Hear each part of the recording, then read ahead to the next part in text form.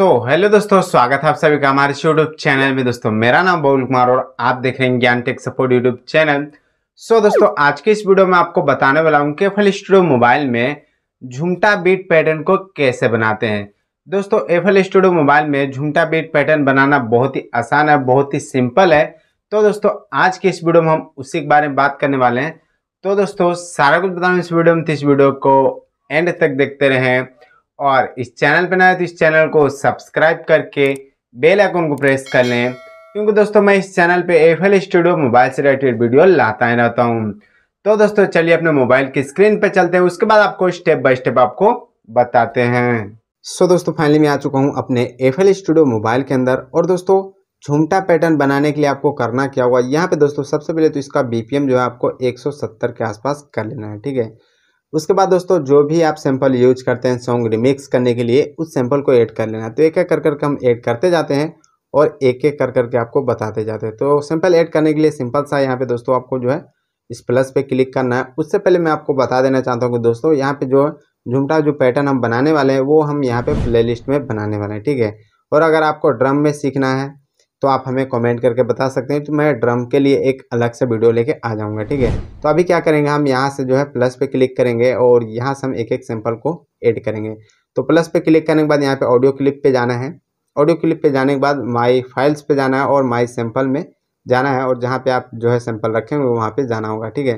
तो मैं यहाँ से एक हार्ड किक को ले लेता हूँ। हार्ड किक को दोस्तों कैसे लगाया जाता है वो मैं आपको समझाता हूँ। सबसे पहले थोड़ा सा यहाँ पे मैं आपको बताना चाहूँगा। ताकि आपको समझ में आ जाए, ठीक है, आगे पैटर्न बनाने से पहले। तो यहाँ पे दोस्तों आप देख सकते हैं, यहाँ पे मैं थोड़ा सा सिंपल को यहाँ पे ले लेता हूँ। तो दोस्तों यहाँ पे आप देख सकते हैं, इसका जो कुछ लुक है, कुछ इस टाइप से आप देख सकते हैं, इसके अंदर कुछ डब्बे आपको दिख रहे होंगे।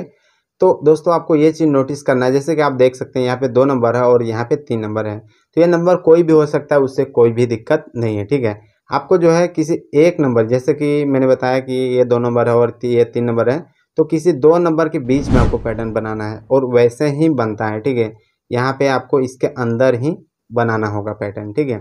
तो यहाँ पे आपको ये चीज़ को ध्यान में रखना है और ये डब्बे को आपको काउंटिंग करके रखना है। मैं आपको आगे बताऊँगा तो ये चीज़ आपको समझ में आने वाला ठीक है? ये चीज़ के बारे में हम आगे आपको बताते हैं। तो पहले वाले जो है, हमारा हार्ड किक है तो हार्ड किक को कैसे लगाया जाता है? पहले वाले डब्बे को जो है पहले में, ठीक है? पहले वाले डब्बे को पहले में मैं आपको एक बार हाईलाइट करके दिखा देता हूँ।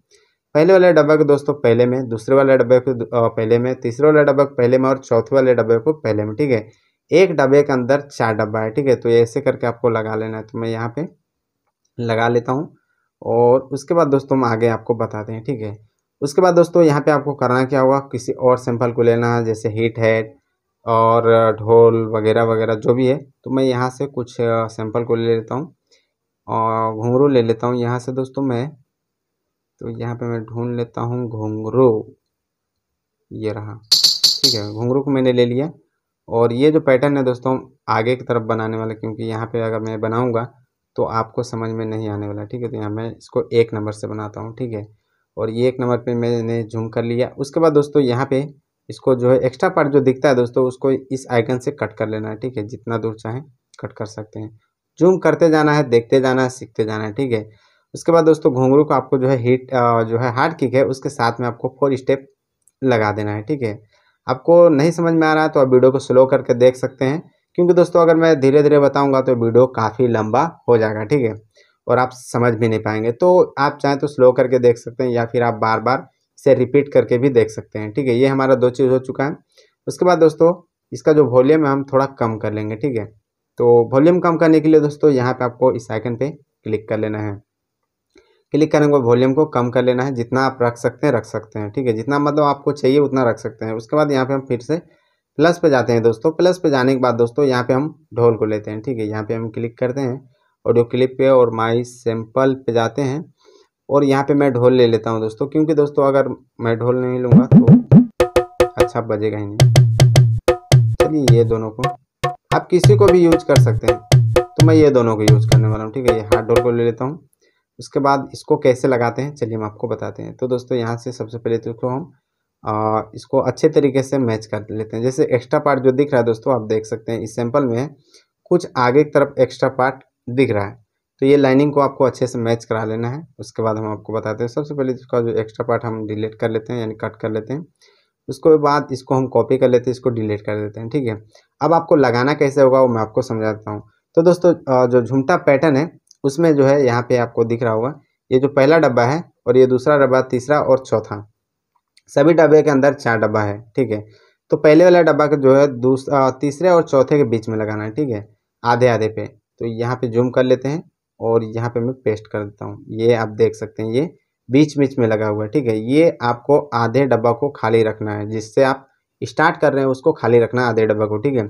उसके बाद इसी को यहाँ पे छोटा कर लेना है। ठीक है, छोटा करने के बाद इसको कॉपी कर लेना है। और यहाँ पे ये जो मैंने पहले डब्बा में लगाया इसी सेम चीज़ को आपको तीसरे डब्बे में लगाना है, ठीक है। तो यहाँ पे मैं सेम चीज़ तीसरे डब्बा पे लगा दिया ये हमारा फाइनल हो चुका है, ठीक है। उसके बाद हम फिर से जाते हैं प्लस पे और यहाँ से एक लोड होल टाइप का हम ले लेते हैं, ठीक है।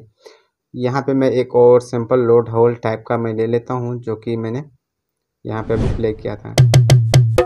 ये वाला, ठीक है, इसे भी मैं ले लेता हूँ यहाँ पे। उसके बाद इसको भी हम यहाँ से पहले इधर ले लेते हैं और इसको अच्छे से हम जूम कर लेते हैं, देख लेते हैं। उसके बाद इसका जो है, शायद बराबर इसको हम कॉपी कर लेते हैं, इसको डिलीट कर देते हैं, ताकि आप लोग को यहाँ पे बताने में मुझे आसानी हो, ठीक है? अब दोस्तों लोड होल को कैसे लगाते हैं वो मैं आपको समझा देता हूँ। यहाँ पे दोस्तों, पहला डब्बा है और दूसरा डब्बा और तीसरा और चौथा, ठीक है? तो दूसरे डब्बा का जो है दोस्तों, दूसरे और तीसरे के बीच में लगाना है, ठीक है? मैं आपको यहाँ पे बता देता हूँ दूसरे और तीसरे के बीच में लगाना है, ऐसे। जैसे हमने लगाया था यहाँ पे। ये है हमारा दूसरा डब्बा, ठीक है?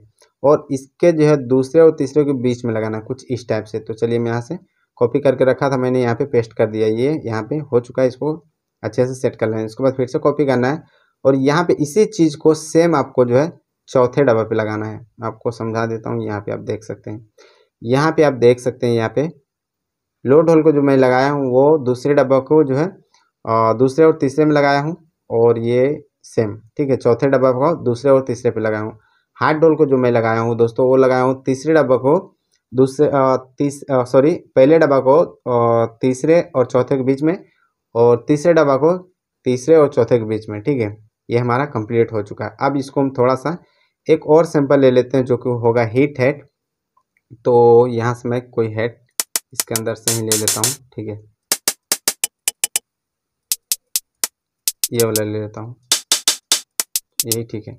इसको ले लेते हैं और इसको कैसे लगाना होगा? हीट हेड को आप जो है सभी डब्बे के तीसरे में लगा लेना है। तो पहले डब्बा का तीसरा में हम लगा लेते हैं, दूसरे डब्बों को हम तीसरा में लगा लेते हैं और तीसरे डब्बों को तीसरा में लगाते हैं और चौथे डब्बों को भी हम तीसरे में लगाते हैं। ये हमारा पैटर्न कंप्लीट हो चुका है। चलिए मैं यहाँ से थोड़ा सा सुनते हैं। ठीक है दोस्तों तो ऐसे करके जो है आप झुमटा पैटर्न को जो है यहाँ पे बना सकते हैं।